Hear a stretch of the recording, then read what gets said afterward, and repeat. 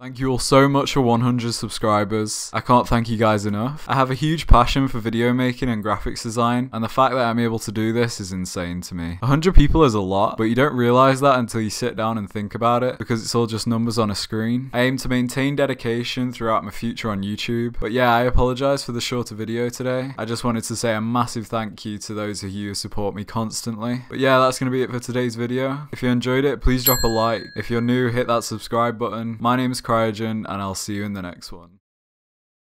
Like